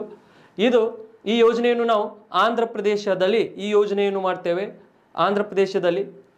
ಹಾಗಾದರೆ ಈ ಯೋಜನೆಯ ಉದ್ದೇಶ ಏನಾಗಿದೆ ಅಂದ್ರೆ ಜಲವಿದ್ಯುತ್ ಉತ್ಪಾದನೆ ಉದ್ದೇಶವಾಗಿದೆ. ಎಲ್ಲಿ ಜಲವಿದ್ಯುತ್ ಉತ್ಪಾದನೆ ಮಾಡ್ತೇವೆ ಅಂದ್ರೆ ಶ್ರೀಶೈಲಂ ಅನ್ನುವಂಥ ಒಂದು ಪ್ರದೇಶದಲ್ಲಿ ಜಲವಿದ್ಯುತ್ತನ್ನು ಉತ್ಪಾದನೆ ಮಾಡ್ತೇವೆ. ಸ್ವಲ್ಪ ಕೃಷಿಗೂ ಕೂಡ ನೀರನ್ನು ನಾವು ಬಳಕೆ ಮಾಡ್ಕೊಳ್ತೇವೆ ಸ್ನೇಹಿತರೆ. ಇದ ಈ ಯೋಜನೆಯ ಹಿನ್ನೀರಿಗೆ ನಾವು ಏನಂತ ಕರಿತೇವೆ ಅಂದ್ರೆ ನಾಗಾರ್ಜುನ ಸಾಗರ ಅಂತ ಕರಿತೇವೆ. ಇಷ್ಟು ನಿಮಗೆ ಕ್ಲಿಯರ್ ಕಟ್ ಇರಬೇಕು. ಗೊತ್ತಾಯ್ತಾ? ಈ ಯೋಜನೆ ಪ್ರಿಂಟೌಟ್ ಆಗ್ಬೇಕು ನಿಮ್ಮ ತಲೆಯಲ್ಲಿ. ಆ ರೀತಿ ನೀವು ನೆನ್ಪಿಟ್ಕೊಳ್ಳಿ ಸ್ನೇಹಿತರೆ. ನೆಕ್ಸ್ಟ್ ನಾವು ಇಲ್ಲಿದಿಂದ ಮುಂದೆ ಹೋದಾಗ ಸ್ನೇಹಿತರೆ, ಮುಂದಿನ ಒಂದು ಸ್ವಲ್ಪ ಯೋಜನೆಗಳನ್ನು ನಾವು ನೋಡಬೇಕಾಗತ್ತೆ. ಈಗ ನಾಗಾರ್ಜುನ ಯೋಜನೆ ಆದ ನಂತರ ನಮಗೆ ಸ್ನೇಹಿತರೆ, ತುಂಗಭದ್ರಾ ಯೋಜನೆ. ಯಾವ ಯೋಜನೆ? ತುಂಗಭದ್ರಾ. ಇದು important some time they want to ask question Tungabhadra ಯೋಜನೆ ಅತ್ತಿದೆ ನೋಡಿ. ಯಾವ ಯೋಜನೆ? ತುಂಗಭದ್ರಾ ಯೋಜನೆ. ಈಗ ಈ ತುಂಗಭದ್ರಾ ಯೋಜನೆಯು ನಮಗೆ ಎಲ್ಲಿ ಇದೆ ಯಾವ ರೀತಿ ಇದೆ? ಇದನ್ನು ಒಂದು ಸ್ವಲ್ಪ ನಾವು ನೋಡೋಣ ಸ್ನೇಹಿತರೆ. ಯಾವ ಯೋಜನೆ? ತುಂಗಭದ್ರಾ ಯೋಜನೆ. ಹೌದಾ? ಈಗ ತುಂಗಭದ್ರಾ ಯೋಜನೆ ನಾವು ನೋಡಿದಾಗ ಸ್ನೇಹಿತರೆ, ತುಂಗಭದ್ರಾ, ಯಾವ ಭದ್ರಾ? ತುಂಗಭದ್ರಾ ಯೋಜನೆ. ತುಂಗಭದ್ರಾ, ತುಂಗ ಮತ್ತು ಭದ್ರಾ ಯೋಜನೆ. ಈ ಯೋಜನೆ ನಾವು ನೋಡ್ಕೋಬೇಕಂದ್ರೆ ಅಂದ್ರೆ ಸ್ನೇಹಿತರೆ, ಈ ತುಂಗಭದ್ರಾ ನದಿ ಎಲ್ಲಿದೆ ಅಂತ ನಾವು ನೋಡ್ಕೋಬೇಕಾಗತ್ತೆ ಮೊದಲಿಗೆ. ಈ ಯೋಜನೆ ನೋಡ್ಬೇಕಂದ್ರೆ ನಾವು ಏನು ಮಾಡಬೇಕಾಗತ್ತೆ? ತುಂಗಭದ್ರಾ ನದಿ ಎಲ್ಲಿ ಇದೆ ಈಗ ನೋಡಿ, ಈ ಭಾಗದಲ್ಲಿ ನಮಗೆ ನಮ್ಮ ಭಾರತ ದೇಶ ಇದೆ. ಯಾವ ದೇಶ? ಭಾರತ ದೇಶ ಇದೆ. ಹೌದಾ? ಇಲ್ಲಿ ಭಾರತ ದೇಶ ಇದೆ ಸ್ನೇಹಿತರೆ. ನೀವು ಕೂಡ ಮ್ಯಾಪ್ ಹಾಕೊಳ್ಳೋದ್ ಮುಖಾಂತರ ಈ ಯೋಜನೆಗಳನ್ನು ಒಂದು ಸ್ವಲ್ಪ ನೆನಪಿಟ್ಕೊಂಡ್ರೆ ಭಾಳಷ್ಟು ಅನುಕೂಲ ಆಗತ್ತೆ. ಈ ಭಾರತ ದೇಶದೊಳಗೆ ನಾವು ನಮ್ಮ ಕರ್ನಾಟಕ ಎಲ್ಲಿದೆ ಅಂತ ಹುಡುಕಾಡಬೇಕಾಗತ್ತೆ ಹೌದಾ? ನೋಡಿ, ಈ ಭಾಗದಲ್ಲಿ ಸ್ನೇಹಿತರೆ, ನಾವು ಕರ್ನಾಟಕವನ್ನು ಮಾರ್ಕ್ ಮಾಡೋಣ. ನಮ್ಮ ಕರ್ನಾಟಕವನ್ನು. ಹೌದಾ? ಇಲ್ಲಿ ನಮಗೆ ಕರ್ನಾಟಕನೂ ಕೂಡ ಇದೆ ಸ್ನೇಹಿತರೆ. So look like Karnataka. ಅಷ್ಟು ಎಕ್ಸಾಕ್ಟ್ಲಿ ಬರ್ಲಿಕ್ಕಂದ್ರೂ ಕರ್ನಾಟಕ ಇದೆ ಅಂತ ನಿಮಗೂ ಗೊತ್ತಾಗಲಿ. ಈಗ, ಈ ಕರ್ನಾಟಕದಲ್ಲಿ ನಮಗೆ ಏನಾಗತ್ತೆ ಅಂದರೆ ಸ್ನೇಹಿತರೆ, ಈ ಭಾಗದಲ್ಲಿ ನಮಗೆ ಇಲ್ಲಿ ಶಿವಮೊಗ್ಗ ಇದೆ. ಏನಿದೆ? ಶಿವಮೊಗ್ಗ. ಯಡಿಯೂರಪ್ಪನ ಊರ? ಹೌದಾ? ಶಿವಮೊಗ್ಗ. ಈ ಭಾಗದಲ್ಲಿ ನಾವು ನೋಡಿದಾಗ ಸ್ನೇಹಿತರೆ ಇಲ್ಲಿದಿಂದ ಎರಡು ಕವಲುಗಳು ಬರ್ತಾವೆ. ಎಷ್ಟು ಕವಲುಗಳು?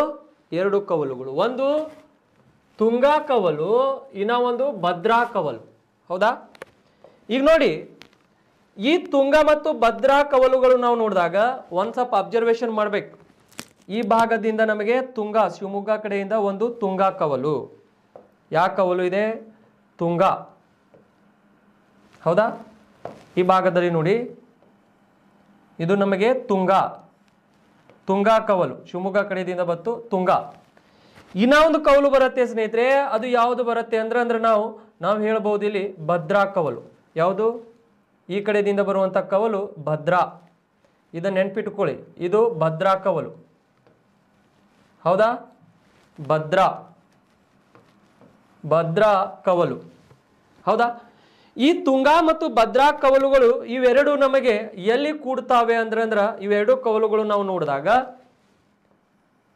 ಕೂಡ್ಲಿಯಲ್ಲಿ ಕೂಡ್ತಾವೆ ಸ್ನೇಹಿತರೆ? ಎಲ್ಲಿ ಕೂಡ್ತಾವೆ ಇವು? ಕೂಡ್ಲಿ. ಕೂಡ್ಲಿ ಅನ್ನುವಂಥ ಒಂದು ಪ್ರದೇಶದಲ್ಲಿ ಇವು ಕೂಡ್ತಾವೆ. ಎಲ್ಲಿ ಕೂಡಿದವು ಎರಡು ಕವಲುಗಳು? ಕೂಡ್ಲಿ. ನಿಮ್ಮ ಕ್ವಶನ್ಸ್ ಕೇಳ್ತಾರೆ. ಹೌದಾ? ತುಂಗ ಮತ್ತು ಭದ್ರಾ ಅನ್ನುವಂಥ ಎರಡು ಕವಲುಗಳು ಕೂಡ್ಲಿಯಲ್ಲಿ ಕೂಡ್ತವೆ. ಈ ಕೂಡ್ಲಿನೂ ಕೂಡ ನಮಗೆ ಎಲ್ಲಿದೆ ಅಂದ್ರೆ ಅಂದ್ರ ಶಿವಮೊಗ್ಗದಲ್ಲಿದೆ. ನಂತರ ಈ ನದಿ ಏನಾಗತ್ತೆ ಅಂದ್ರೆ ಅಂದ್ರ ತುಂಗಭದ್ರಾ ನದಿಯಾಗಿ, ಯಾವ ನದಿಯಾಗಿ? ತುಂಗಭದ್ರಾ ನದಿಯಾಗಿ ರಾಯಚೂರು ಮುಖಾಂತರ ಹರಿದು ನೆಕ್ಸ್ಟ್ ಇದು ಹೋಗಿ ಯಾವ ನದಿ ಕೂಡುತ್ತೆ ಅಂದ್ರೆ ಇಲ್ಲಿ ಕೃಷ್ಣಾ ನದಿಗೆ ಕೂಡುತ್ತೆ ಸ್ನೇಹಿತರೆ. ಇಲ್ಲಿ ಮೇಲಿಂದ ಕೃಷ್ಣಾ ನದಿ ಬರ್ತಿತ್ತು ನಮಗೆ. ಯಾವುದು? ಆಗಲೇ ಇತ್ತಲ್ಲ? ಹಿಂಗ ಕೃಷ್ಣಾ ನದಿ ಬರಾಕತ್ತಿತ್ತಲ್ಲ ಈ ರೀತಿ ಈ ಕೃಷ್ಣಾ ನದಿಗೆ ಇಲ್ಲಿ ಹೋಗಿ ಕೂಡತ್ತೆ ಇದು ನದಿ.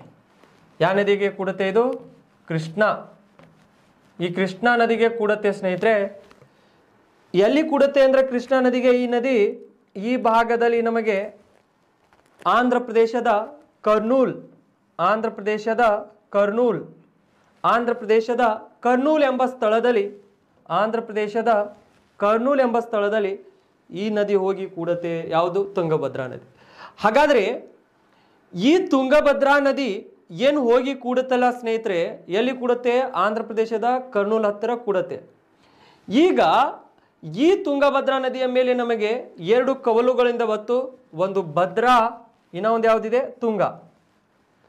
ಆ ಎರಡು ಕವಲುಗಳು ಕೂಡಿ ತುಂಗಭದ್ರಾ ನದಿ ಆಯಿತು. ಹಾಗಾದರೆ ತುಂಗಭದ್ರಾ ನದಿಯ ಮೇಲೆ ನಾವು ಏನು ಮಾಡಿದ್ದೇವೆ ಅಂದ್ರೆ ತುಂಗಭದ್ರಾ ಯೋಜನೆ ಮಾಡಿದ್ದೇವೆ ಈ ಯೋಜನೆಯನ್ನು ನಾವು ಎಲ್ಲಿ ಮಾಡಿದ್ದೇವೆ ಅಂದ್ರೆ ಅಂದ್ರೆ ಇದು ಕರ್ನಾಟಕದಲ್ಲಿ ಮಾಡಿದ್ದೇವೆ. ಎಲ್ಲಿ ಮಾಡಿದ್ದೇವೆ ಇದನ್ನು? ಈ ಯೋಜನೆಯನ್ನು ನಾವು ಕರ್ನಾಟಕದಲ್ಲಿ ಮಾಡಿದ್ದೇವೆ ಸ್ನೇಹಿತರೆ. ಕರ್ನಾಟಕ, ಹೌದಾ? ಕರ್ನಾಟಕದಲ್ಲಿ ಎಲ್ಲಿ ಮಾಡಿದ್ದೇವೆ ಅಂದ್ರೆ ಬಳ್ಳಾರಿಯ ಹತ್ತಿರ, ಈಗ ನೋಡ್ರಿ, ನಾವು ಹೊಸಪೇಟೆ ಅಥವಾ ಹೊಸಪೇಟೆ ತಗೋಬೇಕಾಗತ್ತೆ ಅದನ್ನು. ಇಲ್ಲಿ ನಾವು ಈ ಯೋಜನೆಯನ್ನು ನಾವು ನೋಡಿದಾಗ ಸ್ನೇಹಿತರೆ, ಈಗ ಈ ಯೋಜನೆಯನ್ನು ನಾವು ಒಂದು ಸ್ವಲ್ಪ ಅಬ್ಸರ್ವೇಷನ್ ಮಾಡಿದಾಗ ಬಳ್ಳಾರಿ ಜಿಲ್ಲೆಯ ಹೊಸಪೇಟ್, ಹೊಸಪೇಟದ ಹತ್ತಿರ ಮಲ್ಲಾಪುರ್ ಯಾವುದು? ಮಲ್ಲಾಪುರ್. ಈಗ ನಮಗೆ ಈ ಯೋಜನೆ ಏನಂದ್ರೆ ಅಂದ್ರೆ, ಸೊ ವಿಜಯನಗರದ ಹತ್ತಿರ ಕಂಡುಬರುತ್ತೆ ಎಲ್ಲಿ? ವಿಜಯನಗರ ಹೊಸ ಜಿಲ್ಲೆ ಆಗಿದೆಲ್ಲ. ಕರ್ನಾಟಕದಲ್ಲಿ ಮೂವತ್ತೊಂದು ಜಿಲ್ಲೆ ಆಗಿದ್ದಾವೆ ಗೊತ್ತಿರಲಿ? ವಿಜಯನಗರ ಅನ್ನುವಂಥದ್ದು ಒಂದು ಹೊಸ ಜಿಲ್ಲೆಯಾಗಿದೆ ಹೌದಾ? ಹಾಗಾಗಿ ಈಗ ಬಳ್ಳಾರಿ ಹತ್ತಿರನೇ, ಬಟ್ ವಿಜಯನಗರ ಬಹಳಷ್ಟು ಸಮೀಪ ಆಗುತ್ತೆ. ವಿಜಯನಗರ ಹತ್ತಿರ ಮಲ್ಲಾಪುರಕ್ಕೆ ನಾವು ಹೇಳ್ಬೋದು ಸ್ನೇಹಿತರೆ. ಅಲ್ಲಿ ಈ ಯೋಜನೆ ಮಾಡಿದ್ದೇವೆ ನಾವು. ಹಾಗಾದ್ರೆ ಈ ಯೋಜನೆ ಇಲ್ಲಿ ಏನು ಮಾಡಿದೇವಲ್ಲ ಸ್ನೇಹಿತರೆ? ಈ ಭಾಗದಲ್ಲಿ ನಾವು ಈ ಯೋಜನೆ ಏನು ಮಾಡಿದ್ದೇವಲ್ಲ ಎಲ್ಲಿ ಮಾಡಿದ್ದೇವೆ ಕರ್ನಾಟಕದ.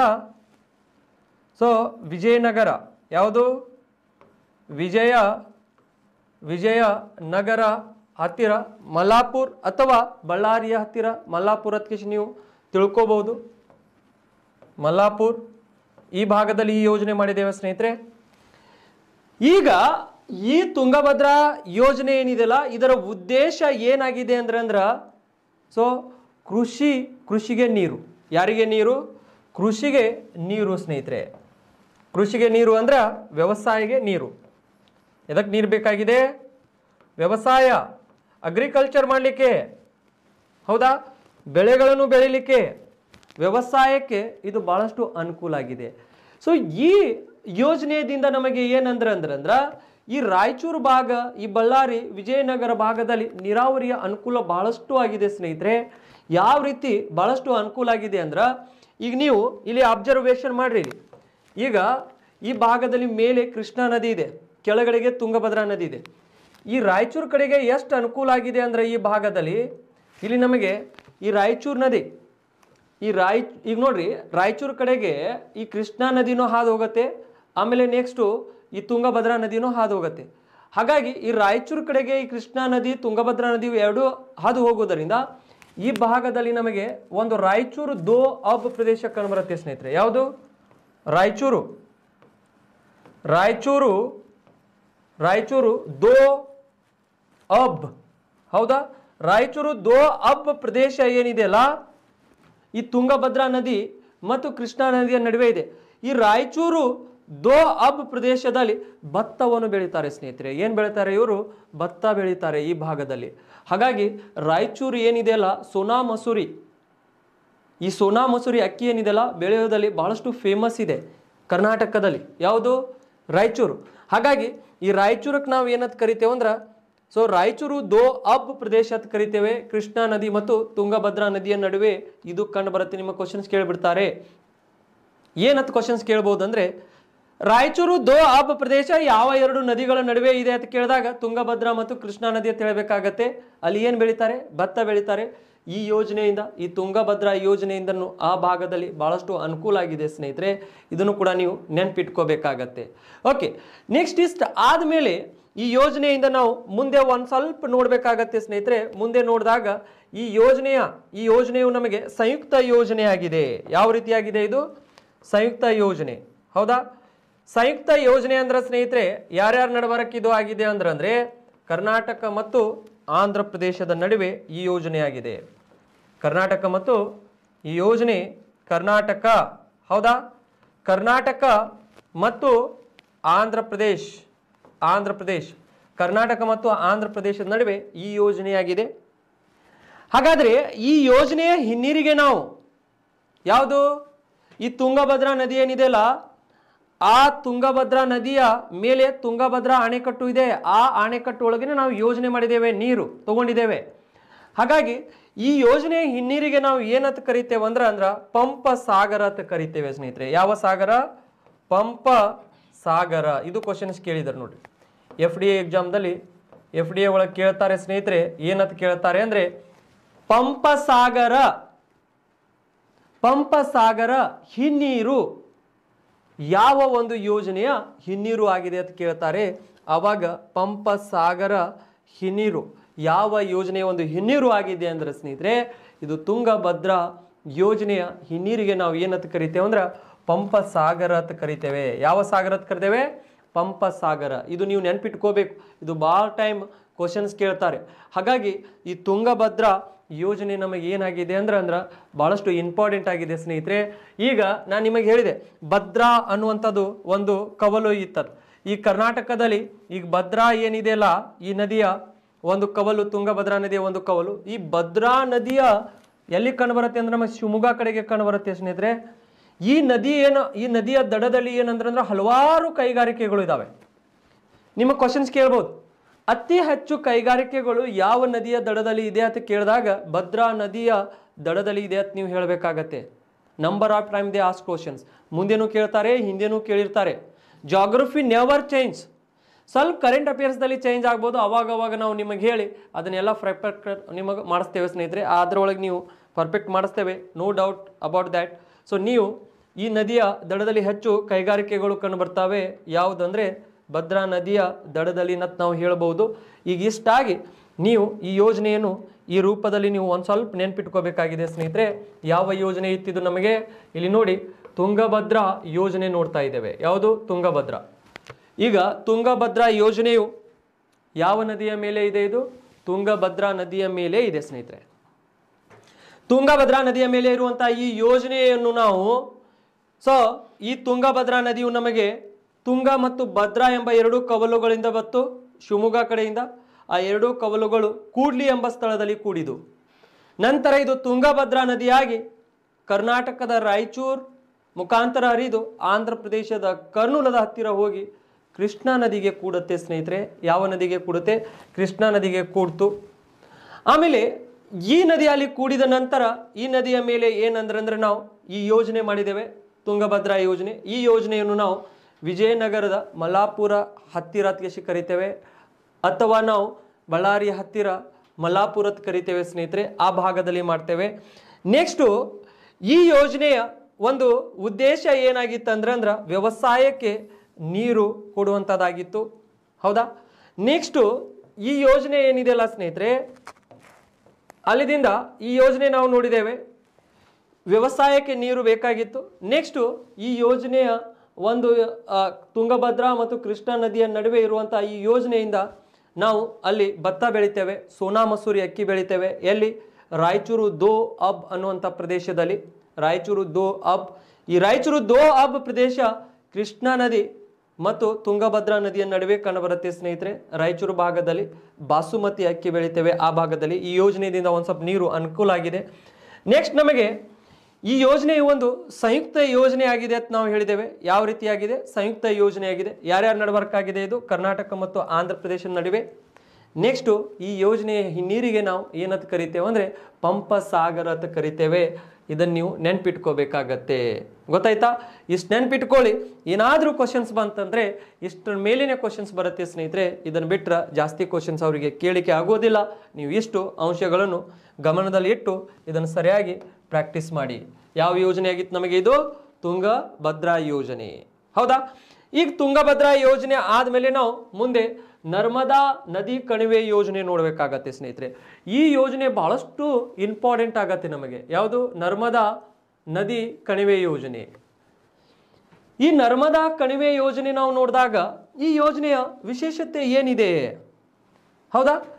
ಈ ಯೋಜನೆಯ ವಿಶೇಷತೆ ಏನಿದೆ? ಈ ನದಿ ಎಲ್ಲಿ ಬರುತ್ತೆ? ಇದರ ಏನು? ಅದನ್ನೆಲ್ಲ ಅಂಶಗಳನ್ನು ನಾವು ನೋಡೋಣ ಸ್ನೇಹಿತರೆ. ಯಾಕಂದ್ರೆ ಅಂದರೆ ಇದು ಪಶ್ಚಿಮಕ್ಕೆ ಹರಿಯುವಂಥ ಪ್ರಮುಖ ನದಿ. ಯಾವುದು? ನರ್ಮದಾ. ಈಗ ನೋಡೋಣ ನರ್ಮದಾ ನದಿ ಯೋಜನೆ. ಯಾವ ಯೋಜನೆ ನೋಡಬೇಕಾಗಿದೆ ನಾವು? ನರ್ಮದಾ ನದಿ ಯೋಜನೆ. ಇಲ್ಲಿದಿಂದ ಇದು ಒಂದು ಸ್ವಲ್ಪ ಇಂಪಾರ್ಟೆಂಟ್ ಅಂತ ಬರ್ಕೊಳ್ಳಿ ಸ್ನೇಹಿತರೆ. ಯಾವುದು? ಈ ನರ್ಮದಾ ನದಿ ಯೋಜನೆ ನಮಗೆ ಇಂಪಾರ್ಟೆಂಟ್ ಆಗಿರುತ್ತೆ. ಹೌದಾ? ನರ್ಮದಾ. ಯಾವುದು? ನರ್ಮದಾ. ನರ್ಮದಾ ನರ್ಮದಾ ನದಿ ಯೋಜನೆ. ಹೌದಾ? ಈ ಯೋಜನೆ ನೋಡಿ. ನರ್ಮದಾ ನದಿ ಯೋಜನೆ. ಈಗ ನಾವು ನರ್ಮದಾ ನದಿ ಯೋಜನೆ ಅಂತ ಹೇಳಿದಾಗ ಈ ಯೋಜನೆ ನೋಡೋಣ. ಯಾವ ನದಿಯ ಮೇಲೆ ಇದೆ ಇದು ನಮಗೆ ಈ ಯೋಜನೆಯು? ನರ್ಮದಾ ನದಿಯ ಮೇಲೆ ಇದೆ ಸ್ನೇಹಿತರೆ. ಯಾವುದು? ನರ್ಮದಾ. ಹೌದಾ? ನರ್ಮದಾ ನದಿ. ಈ ನರ್ಮದಾ ನದಿ ಎಲ್ಲಿಂದ ಬಂತು. ಹೌದಾ? ಈ ನರ್ಮದಾ ನದಿ ನಮಗೆ ಇದನ್ನು ಒಂದು ಸ್ವಲ್ಪ ಈ ನದಿ ನಾವು ನೋಡಿದಾಗ ಇಲ್ಲಿ ಭಾರತ ದೇಶದ ಒಂದು ಸ್ವಲ್ಪ ನಕ್ಷೆ ನೋಡೋಣ. ಈ ಭಾರತ ದೇಶ, ಹೌದಾ? ಈ ಭಾಗದಲ್ಲಿ ಸ್ನೇಹಿತರೆ, ನಮ್ಮ ಭಾರತ ದೇಶ ಇದೆ. ನಿನ್ನೆ ಕ್ಲಾಸ್ನಲ್ಲಿನೂ ನಾನು ನಿಮಗೆ ಹೇಳಿದ್ದೀನಿ ಈ ನದಿಯ ಬಗ್ಗೆ ಸ್ವಲ್ಪ. ಹೌದಾ? ಈಗ ನೋಡಿ, ಇಲ್ಲಿ ನಮಗೆ ಎರಡು ಶ್ರೇಣಿಗಳು ಕಂಡುಬರ್ತವೆ ಸ್ನೇಹಿತರೆ ಇಲ್ಲಿ. ಇಲ್ಲಿ ನಮಗೆ ವಿಂಧ್ಯಾ ಶ್ರೇಣಿಗಳು, ಯಾವ ಶ್ರೇಣಿಗಳು? ವಿಂಧ್ಯಾ ವಿಂಧ್ಯಾ ಮಧ್ಯಪ್ರದೇಶದಲ್ಲಿ. ವಿಂಧ್ಯಾ ಶ್ರೇಣಿ.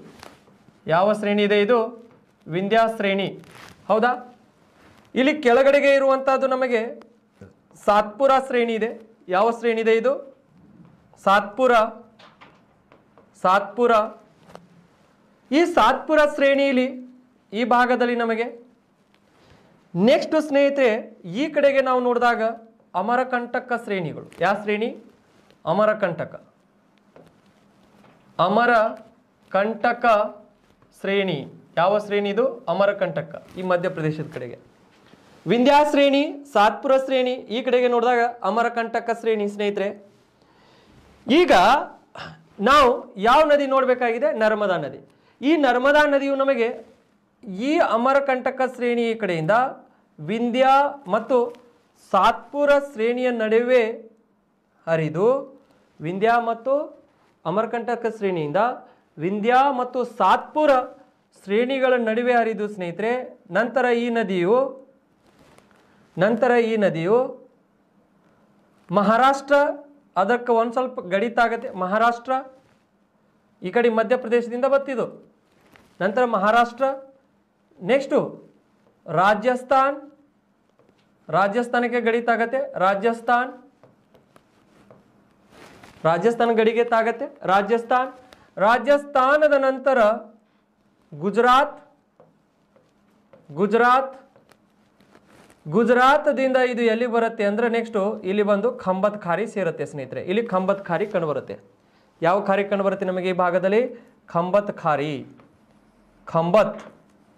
ಖಂಬತ್. ಖಾರಿ ಕಂಡು ಬರುತ್ತೆ ನಮಗೆ ಇಲ್ಲಿ, ಖಂಬತ್ ಖಾರಿ. ಈಗ ನಿಮಗೆ ಈ ಖಂಬತ್ ಖಾರಿ ಗುಜರಾತದ ಯಾವ ಭಾಗದಲ್ಲಿದೆ ಇದು? ದಕ್ಷಿಣ ಭಾಗ. ಹೌದಾ? ದಕ್ಷಿಣ ಭಾಗ. ಈಗ ನೀವು ಹೇಳ್ಬೋದು, ಖಾರಿ ಅಂದ್ರೆ ಏನು?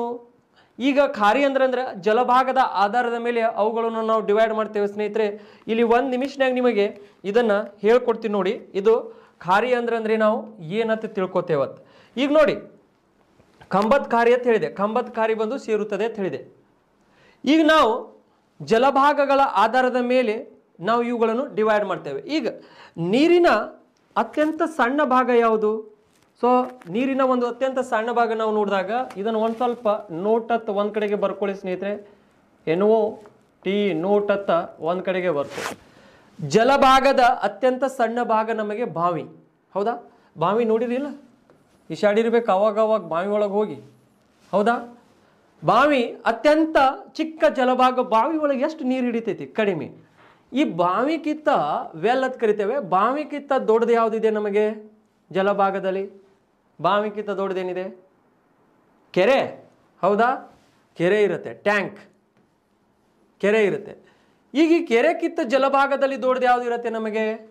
ಕಿತ್ತ ದೊಡ್ಡದು ಯಾವ್ದು ಇರ್ಬೋದು? ಸರೋವರ. ಯಾವುದು? ಸರೋವರ ಸರೋವರ ಇರುತ್ತೆ. ಹೌದಾ? ಈಗ ಈ ಸರೋವರಕ್ಕಿಂತ ದೊಡ್ಡದು ಏನಿರುತ್ತೆ ನಮಗೆ?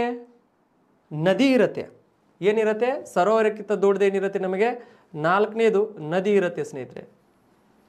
ಹಾಗಾದ್ರೆ ಈ ನದಿಕ್ಕಿಂತ ದೊಡ್ಡದು ಏನಿರುತ್ತೆ ನಮಗೆ? ನದಿಕ್ಕಿಂತ ದೊಡ್ಡದು ಏನು ಬರುತ್ತೆ ನಮಗೆ? ಕೆಲವೊಂದು ಸರ್ತಿ ಈ ಸ್ಟ್ರೀಮ್ಸ್, ಐದನೇದು ಸ್ಟ್ರೀಮ್ಸ್.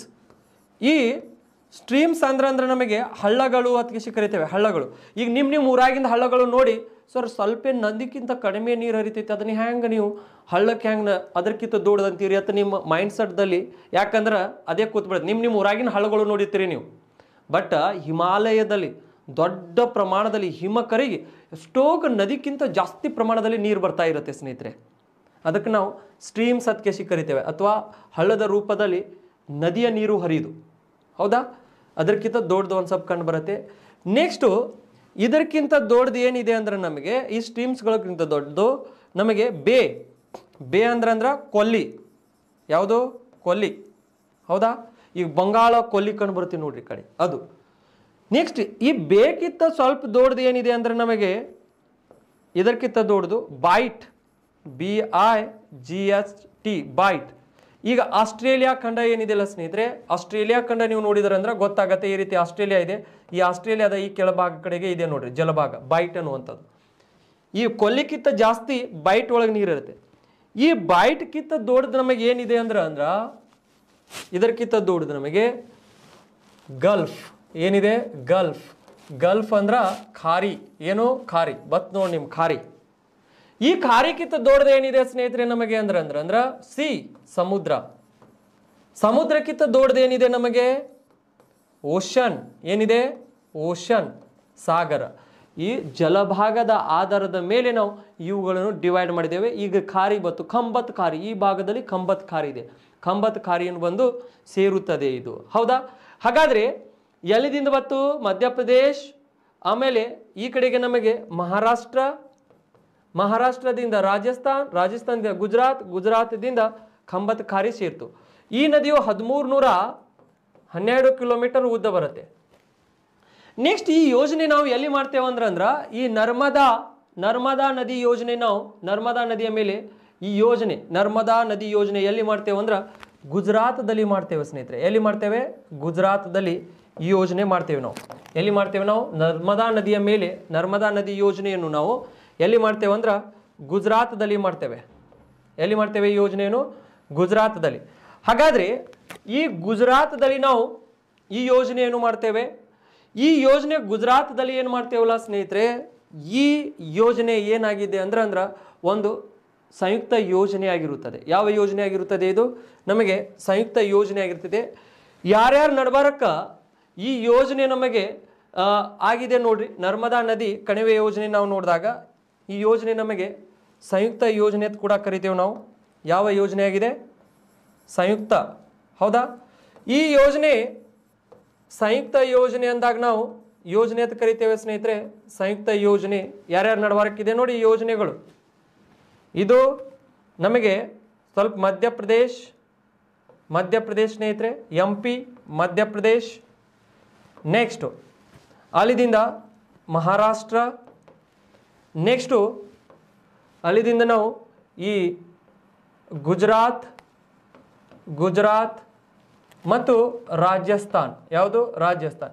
ಇವುಗಳ ನಡುವೆ ಈ ಯೋಜನೆ ಇದೆ. ಬಟ್ ಇದು ಜಾಸ್ತಿ ಈ ಯೋಜನೆಯಿಂದ ಅನುಕೂಲ ಪಡೆಯುವಂಥ ರಾಜ್ಯ ಯಾವುದಾಗಿದೆ ಅಂದ್ರೆ ಗುಜರಾತ್ ಆಗಿದೆ. ಯಾವುದು? ಗುಜರಾತ್.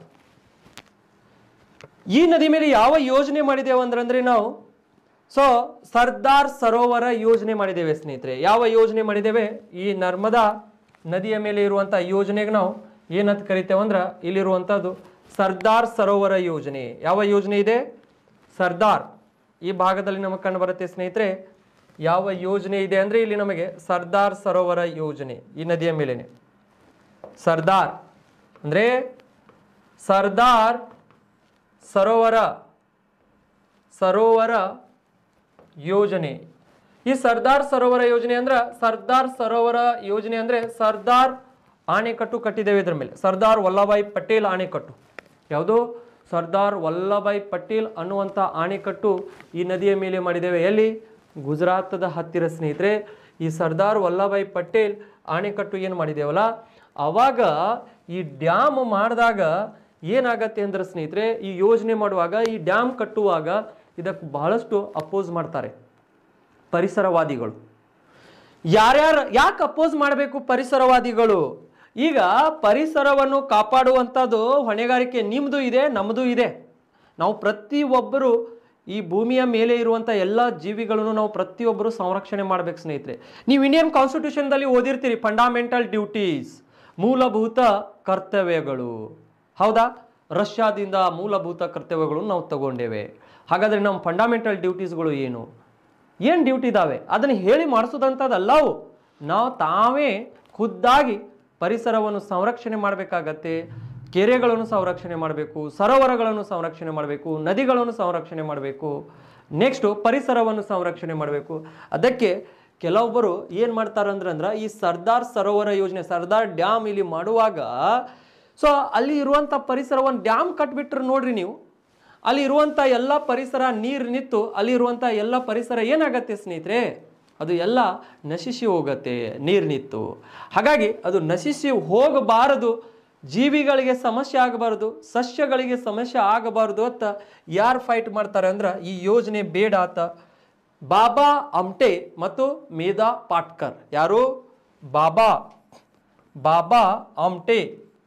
ಬಾಬಾ ಅಮ್ಟೆ ಮತ್ತು ಮೇಧಾ.